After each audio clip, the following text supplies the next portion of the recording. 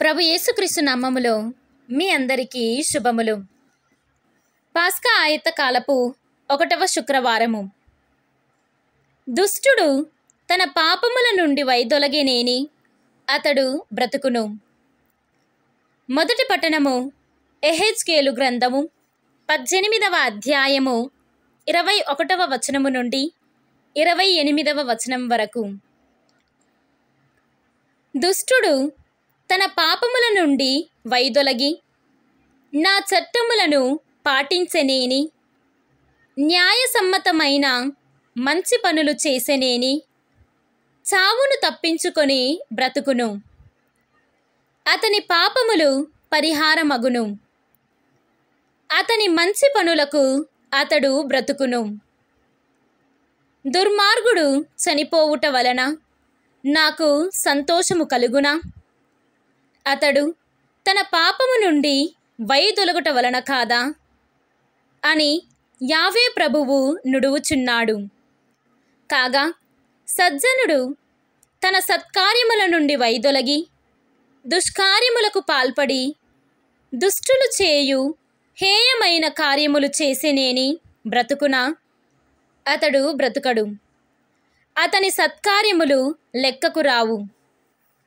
అతని ద్రోహములకు పాపములకు అతడు చచ్చి తీరును కాని మీరు యావే ప్రభువు చేయునది సబబు కాదు అని పలుకుదురు. ఇజ్రాయేలీరారా వినుడు. నా మార్గము సబమైనది కాదా? మీ మార్గమే సబమైనది కాదు. సజ్జనుడు తన సత్కార్యముల నుండి వైదొలగి చెడుకు పాల్పడి చనిపోయనేని? తన దుష్కార్యముల వలననే చనిపోయెను. దుష్టుడు తన పాప కార్యముల నుండి వైదొలగి న్యాయసమ్మతమైన మంచి పనులు చేసేనేని తన ప్రాణములను కాపాడుకొనును.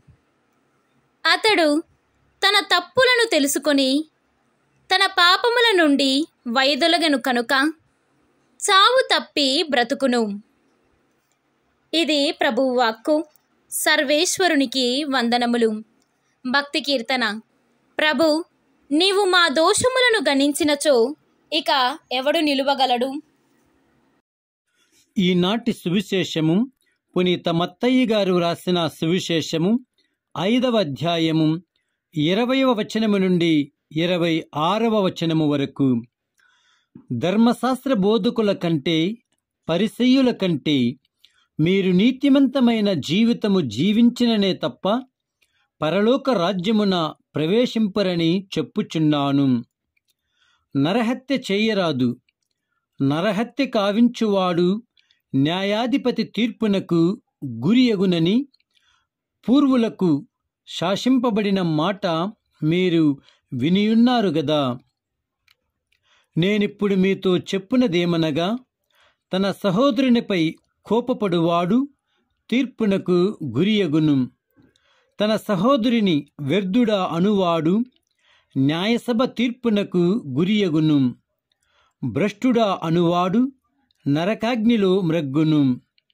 కనుక బలిపీత సన్నిధికి నీ కానుకను తెచ్చినప్పుడు నీ సహోదరునికి నీపై మనస్పర్ధ ఉన్నట్లు నీకు స్పృహించినచో ఆ కానుకను పీఠము చెంతనే వదిలిపెట్టిపోయి నీ సహోదరునితో సఖ్యపడి తిరిగి వచ్చి నీ కానుకను చెల్లింపుము.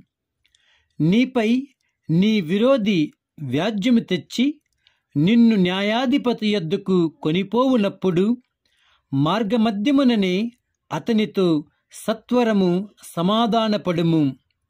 లేనిచో అతడు నిన్ను న్యాయాధిపతికి అప్పగించును. న్యాయాధిపతి నిన్ను చెరవేయించును. నీవు చెల్లించవలసిన రుణములు కడపటి కాసు చెల్లించు వరకు నీవు చెరసాలలోనే యుందువు. ఇది క్రీస్తు సువిశేషము.